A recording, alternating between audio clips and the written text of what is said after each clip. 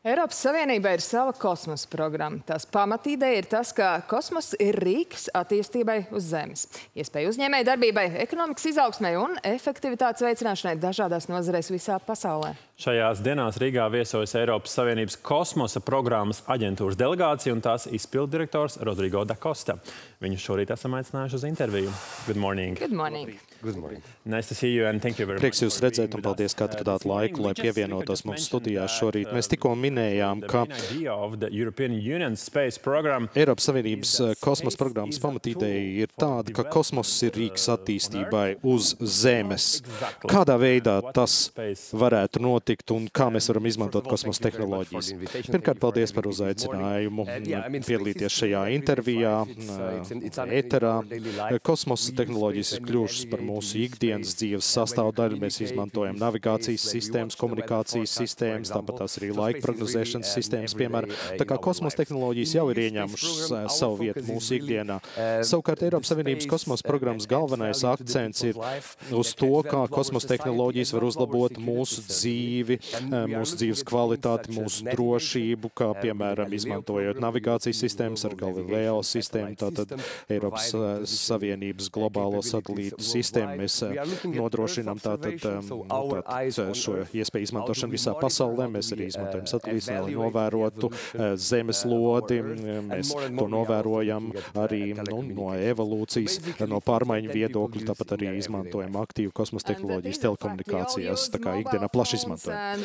Jā, mēs tiešām ikdienā plaši izmantojam mobilās tehnoloģijas, mobilos telefons, vērojam televīziju, navigācijas sistēmas izmantojam tādā veidā. Mēs gūstam labumu no kosmosa tehnoloģijām, bet ja mēs runājam par Latviju, kādas ir Latvijas iespējas, ņemot vērā to, ka mēs esam maza valsts, mums tomēr ir diezgan lielas ambīcijas. Kādas, kā jūs raksturot Latvijas iespējas, kādas ir mūsu potenciāls un kā to izmantot? Jā, protams, kā Eiropas Savienības iedzīvotāji, mēs visi izmantojam kosmosa tehnoloģijas ikdienā. Jūs pieminējāt mobilās tehnoloģijas.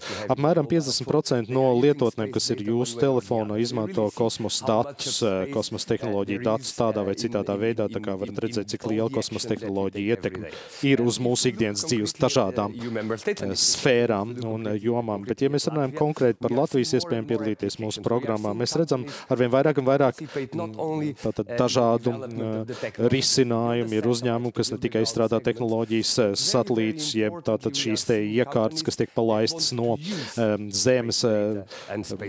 Pēc tā mēs arī redzam arvien vairāk, vairāk uzņēmumu, kas ir gatavi izmantot kosmosa tehnoloģijas, kosmosa tehnoloģijas sniegtos datus, lai izstrādātu produktus dažādās jomās. Latvijai, piemēram, tātad tik svarīgas lietas, kā, piemēram, lauksaimniecības programmas, meža apsaimniekošanas programmas, tāpat tās arī ārkārtas situāciju vadības programmas. Mēs principā arī sagaidām, ka būs interesi par iespēju veidot efektīvākas ēkas ar digitālo tātad programmu starpniecību, tātad no to struktūra viedokļa, tāpat tās arī tātad faunas un mežu pārvaldības lietotnes un aplikācijas arī tiks veidotas. Tas ir tas, kā mēs varam būt labumu un piedalīties kosmosa programmās. Daudz interesē tas, kā iekārtoties darbā Eiropas Savienības kosmosa programmā, vai ir jābūt kosmosa tehnoloģija inženieriem, vai kā, kāda kvalifikācija nepieciešama. Ja mēs runājam par kosmosu, visiem liekas, ka tā ir ļoti sarežģīta joma, taču realitāte daudz vienkāršāk. Jums ir jābūt pirmām kārtām Eiropas Savienības valsts pilsonim, tātad tā ir pirmā prasība, lai jūs varētu strādāt Eiropas Savienībā. Otram kārtām jums ir jābūt kvalifikācijai, jābūt īpašām spējām, kas mūs interesē. Mēs paskatāmies uz mūsu kolektīvu, mums ir dažādi veidi speciālisti, inženieri, tehnoloģiskie speciālisti, komunikācija, kosmosa inženieri, bet mums ir arī juristi, vadības speciālisti, tāpat arī grāmatvēži. Ja mēs gribam padarīt kosmosu tuvāku iedzīvotājiem, izmantot to, piemēram, ceļu satiksmē, dzelzceļa satiksmē, lauksaimniecībā, banku jomā, mums ir nepieciešami arī cilvēki no šīm jomām, cilvēki, kas izprot šo jomu no iekšienes, piemēram, kā darbojās banku nozare, apdrošināšanas nozare, un kā kosmosa tehnoloģijas vislabāk izmantot šajā nozarē. Un, protams, mums šādi veidi speciālisti ir nepieciešami, kas viszinošākie ir šādās jomās. Vai ir Latvijā kādi latvieši, kas jau strādā jūsu aģentūrā, vai arī varbūt šobrīd kāds mūs skatās un domā, ka varētu pieteikties darbam aģentūrā? Kas viņiem būtu jādara, lai kļūtu par darbinieku? Mēs gribam, lai cilvēki pie, piesakās darbam, un viens no maniem uzdevumiem apmeklējot Latviju ir reklamēt aģentūru arī potenciālajiem darbiniekiem, lai to skaits no Latvijas arī tā skaitā augtu. Taču mēs arī stāstam par to, kā Latvijas ražojošie uzņēmumi, dažādi nozaru pārstāvju, lielie, mazie uzņēmumi, arī akadēmiskais personāls var piedalīties mūsu pētījumos. Jūs piedāvājat arī prakses iespējas studentiem, studējošiem? Jā, protams, mēs arī lielāko prieku ņemam praksē students. Mums ir plaša prakšu praktizēšanās iespēja, tīpaši tiem, kas ir tuvu mācību noslēgumam vai tuvu profesionālās karjeras uzsākšanai. Mēs stāstam par to, kā darbojās Eiropas Savienība, da, dažādās institūcijas un sniedzam viņiem arī ļoti praktiskas zināšanas, nu, strādājot ikdienā mūsu aģentūra. Ko jūs varētu ieteikt Latvijas uzņēmējiem, uzņēmumiem, kuriem ir vēlme piedalīties kosmosa programmā?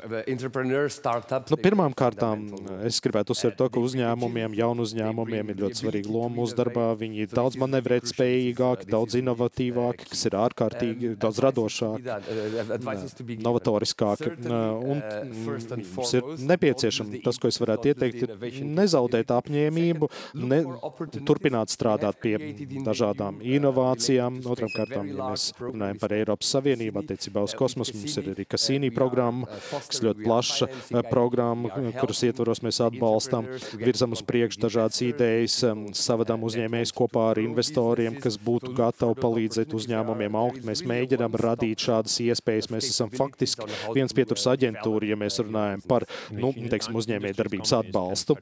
Tātad dažādi nozaru uzņēmumi var pieteikties. Kurš tad varētu pieteikties? Nu, jebkurš, kurš varētu izmantot kosmosa tehnoloģijas, ja, ja to sniegtās priekšrocības. Tur runa ir par daudz dažādiem sektoriem, nozarēm. Nu, mūsu viena no galvenajām prioritātēm ir kosmosa tehnoloģija, kas iznešana ārpus slēgtā speciālistu loka. Jo, kā jau es minēju, tad, tad visi izmanto šīs kosmosa tehnoloģijas tādā vai citādā veidā, līdz ar to piedalās kosmosa programmā.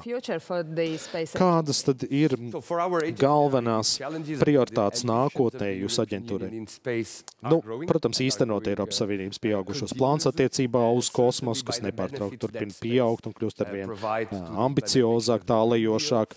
Mēs gribam arī izmantot kosmosa tehnoloģijas zaļā kursa pasākumu realizācija, tāpat tās arī savas suverenitātes stiprināšanai, savienības, tātad neatkarības stiprināšanai, mūsu sabiedrības autonomijas vairošanai, kas, protams, nav viegli uzdevumi, bet esmu gatavs kopā ar savu kolektīvu strādāt pie to izpildes, lai Latvijas pilsoņi, Eiropas Savienības pilsoņi varētu no tā iegūt.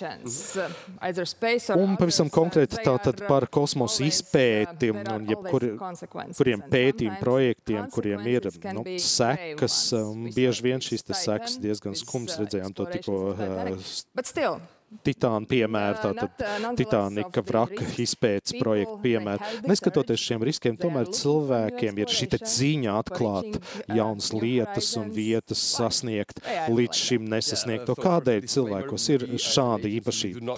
Nu, pirmām kārtām gribētu šeit izteikt atrunu. Mēs nenodarbojamies ar kosmosa izpēti, mēs vairāk nodarbojamies ar navigācijas, satelītu, komunikāciju tehnoloģijām un kosmosa izpēti. Protams, ir ārkārtīgi svarīga kosmosa tehnoloģijām. Tā ir nu, iedvesmas avots, tas ir veids, kā mēs varam iedvesmot citus cilvēkus, jaunus cilvēkus pievienoties kosmosa programmai. Daudz jauniešu bērni, tātad cilvēki, kas pirmoreiz iepazīst šo te jomu, viņus, protams, virza uz priekšu šī vēlme kaut ko izpētīt un iepazīt. Un tas jau arī virza zinātni, un ar kosmosa tehnoloģijām mēs iegūstam arī zinātniskos datus, lai uzzinātu, kā mikroshēmas darbojās, kā, piemēram, kameras darbojās, uzvedās atradās kosmosā, tādēļ ir nepieciešami šie fundamentālie pētījumi, nu, kas nes labumu visai zemeslodei, visiem zemes iedzīvotājiem. Nu, cilvēki jau vienmēr ir bijuši zinātnēkāri, vienmēr esam tādi bijuši. Un, protams, ka fiziskās robežas neapstādinās mūs arī kosmosa robežas. Un, jā, tātad, mēs redzam šobrīd fonā lielu prāmi Rīgas ostā. Viņi noteikti izmanto kosmosa tehnoloģijas. Esmu pilnībā pārliecināts, ka viņi izmanto kosmosa tehnoloģijas. Paldies jums liels, ka pievienojāties šī uh, rīta interviju studijā. Paldies uh, arī par to, ka izskaidrojāt, kā kosmosa tehnoloģijas darbojas, cik uh, svarīgas tās ir mums šeit uz Zemes. Paldies! Kosmosa programmas aģentūras izpildu direktors Rodrigo da Costa šorīt pie mums.